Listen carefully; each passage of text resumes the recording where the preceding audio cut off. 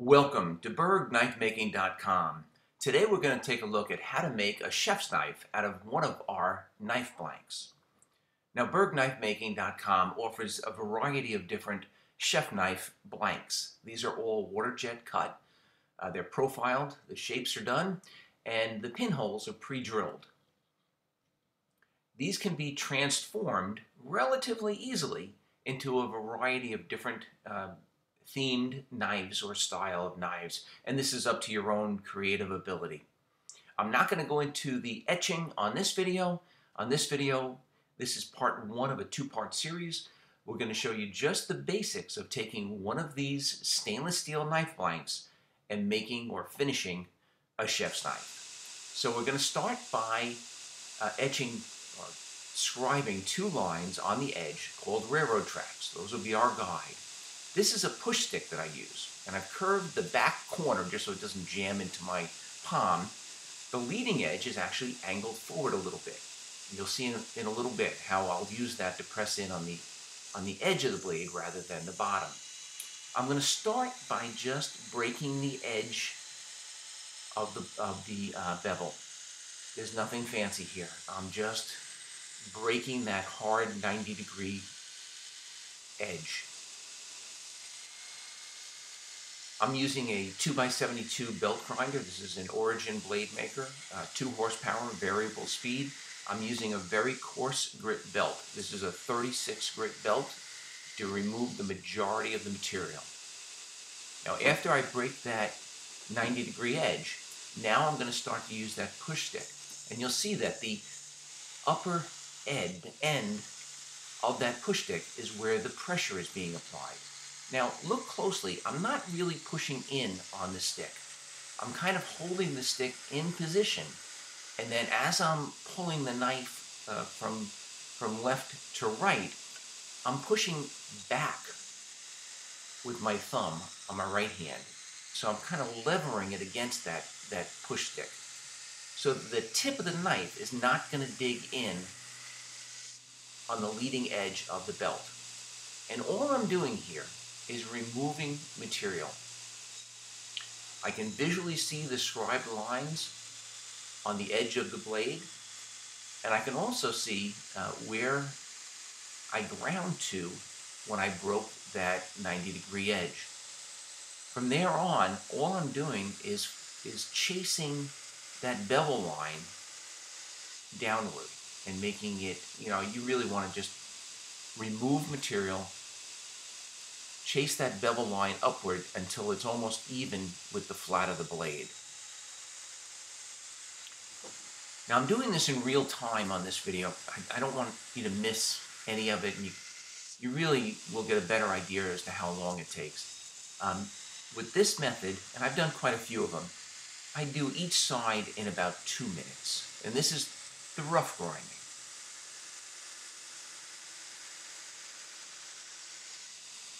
See that that bevel is going up more upward with each each pass.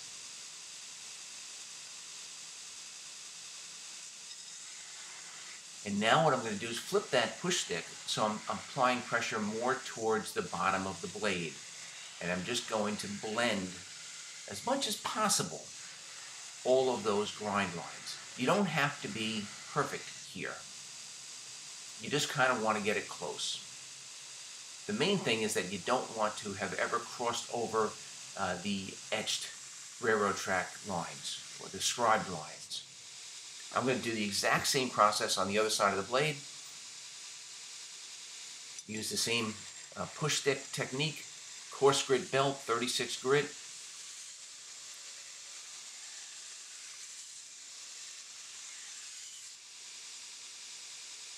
Another couple minutes and that side is done. So now I've got very coarse grit grind lines. I'm going to use a shop magnet, a handled shop magnet, and I'm going to go vertical. I'm going to remove the 90 degree work table. And I've also changed the grit of the belt. This is now a 60 grit belt.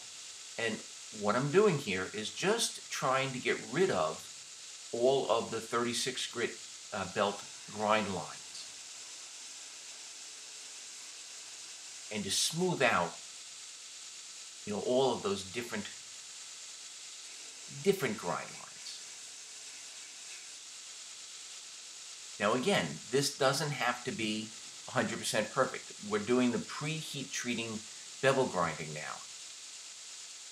I don't want to end up with any of those deep grooves, those, those deep grind lines, but post heat treating, we're going to clean this all up again with a with a finer grit belt, an 80 and then a 120. But right now, we're just trying to merge all of those, um, or get rid of all of those 36 grit grind lines. And this is really the, the majority of the work in doing one of these chef's knives. The rest of it is, is not, not really hard at all. So that's one side done. I just repeat that process on the other side. Uh, even though the, the knife blanks come with holes, you know, pre-drilled, all of those holes do have to be reamed. Uh, they were only located um, and created with a water jet. So you want to ream those out to the correct size. I use one size up on the uh, quarter inch holes and uh, I also add, you know, ream down the 1 8 holes if I want to use bolsters. And then I am going to chamfer each one of those holes. It just makes it a little bit easier when you're trying to place the pins later. You want to make sure you ream out those holes um, and chamfer it before heat treating. It's almost impossible after heat treating. Now, a lot of guys um, kind of tend to stay away from stainless steel uh, because they don't have a, a heat treating oven. Um, if you don't, don't let that stop you from working with one of these blanks. You can always send the blank out to a heat treating service like, like Peter's Heat Treating. Now, they're a little bit expensive if you're only sending them one blank or, or two blanks. But if you're making, you know, one or two pieces for your own use um, and you want to create a really good quality stainless steel knife that you're not going to have to worry about uh, rusting, uh, it's well worth uh, the money. If you're, however, uh, trying to sell these knives and, and, doing little production runs, then a heat treating oven is definitely the way to go. Um, you're going to want to wrap the knives uh, uh, in tool wrap and create air as airtight as possible envelopes by double folding each one of the seams before placing them into the heat treating oven. Now tool wrap comes in two different um, uh, sizes or thicknesses. Uh, for our blanks you can use the 321 which is good up to 2000 degrees. Uh, AEBL stainless gets heat treated um, up to 1950 degrees and then there's a hold time on it. You have to hold it at that temperature uh, for about 15 minutes. Now I like to do these in batches, so I'm going to put a batch of uh, stainless blanks. These have all been, um, the rough grinds on the bevels have all been done. They've all been wrapped in the tool wrap.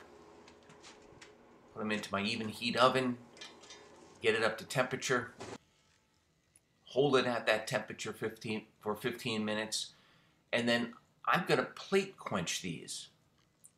Now I've got aluminum um, you can you, you can use solid aluminum. I, I happen to use tubed aluminum, rectangular tubing, and I'm going to clamp these uh, right out of the oven between these two plates and clamp them closed.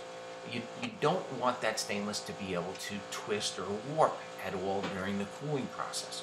So you're going to clamp this real tight and then I'm going to blow compressed air right in the groove, all around the knife.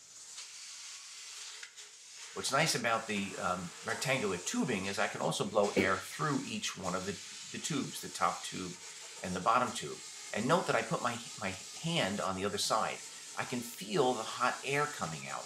And it gives me, you know, a real good indication, you know, when that hot air really cools down, you know, I know that the blank has cooled down enough. The cooling process really only takes, you know, a few minutes. Uh, I use tin snips then to cut off one side of that uh, tool wrap envelope. The knives are still going to come out a little on the warm side. You want to wear gloves for this process. And I didn't mention before, when you're working with the tool wrap, you definitely want to wear gloves. Um, that, that stuff is razor sharp and will cut you in a blink of an eye.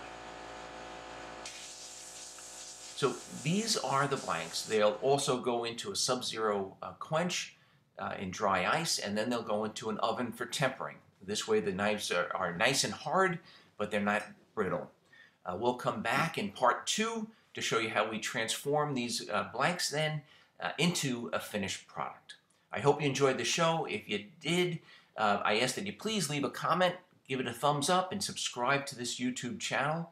I'd like to give you an invite to our Facebook group, Knives and Knife Making. Um, and by all means, uh, check out the book that Jason Northgard and I put out last year called Introduction to Knife Making. And that can be found on bergknifemaking.com as well as amazon.com. Thank you very much.